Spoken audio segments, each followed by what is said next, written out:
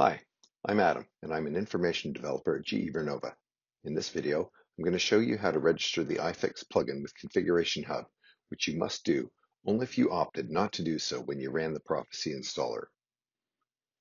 To register iFix with Config Hub, you will need to enable iFix security, add the iFix Node Manager to Config Hub using the Node Manager configuration utility, register the iFix plugin with Config Hub, and configure group membership for a Proficy authentication user to log into Config Hub.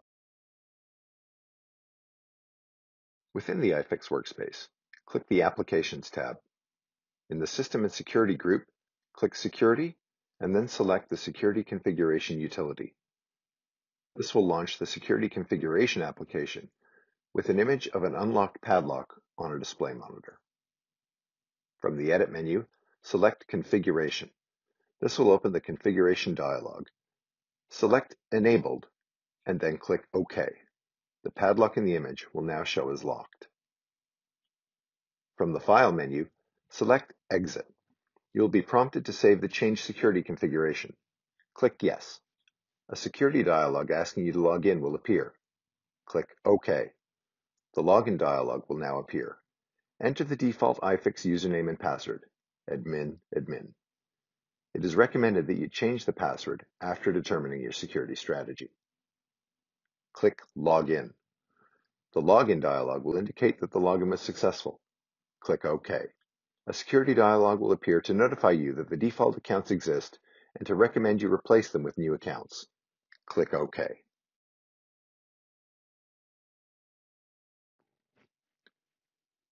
Next, use the desktop icon to launch the Node Manager configuration utility. This will bring up the Node Manager configuration dialog. In the Proficy Authentication section, enter the host name. Note that if your Node Manager was previously configured with Proficy Authentication, this field will already be autofilled. The port number will also be autofilled. However, you can change this value if required. Then enter the client ID and client secret.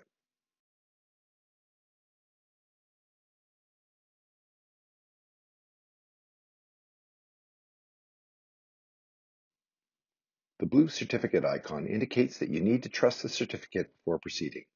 Similar to the hostname and port number, if you already configured the Node Manager with Proficy Authentication, the certificate will already be trusted and the icon would be green. Click the certificate icon to bring up the Certificate Details dialog. Click Trust. The certificate icon is now green. Click Configure. A pop-up will indicate that you have commissioned Proficy Authentication with Node Manager. Click OK. Use the desktop icon to launch Configuration Hub. Use the default user, ch underscore admin, to log in.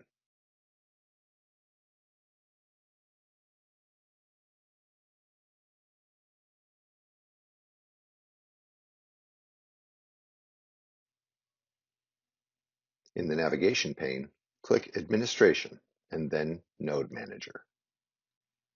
Click the plus sign, which is the Add Node Manager button. Enter the host name. The display name field will autofill with the host name. However, you can change this value if desired. To trust the certificate, click Not Trusted. When the certificate details dialog appears, click Trust. To finish, click Add.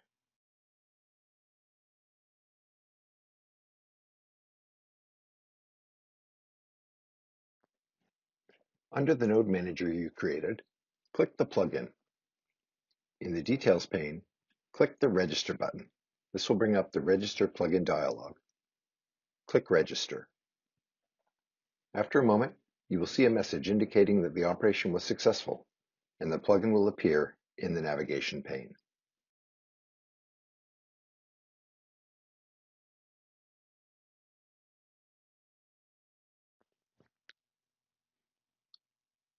To log into Configuration Hub, you will need a Proficy Authentication user with the correct group membership configured.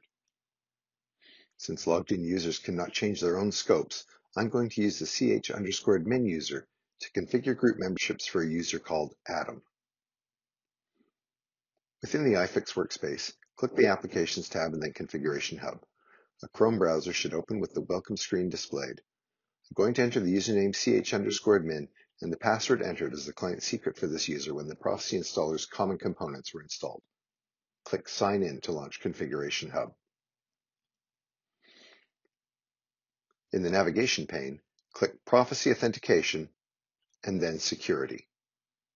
This will open a Security Proficy Authentication tab. From this tab, click Users. Click the user you wish to modify, in this case Adam. This will bring up the Details pane. Click the Group Membership icon to bring up the Group Membership dialog. To allow access to Configuration Hub, be sure that the user has, at a minimum, membership in the two groups shown here. When you are finished, click Apply. For the changes to take effect, close and restart your browser. Configuration Hub is now ready to use with iFix for that user. This concludes the demonstration on how to register Configuration Hub to use with iFix. Thank you for watching.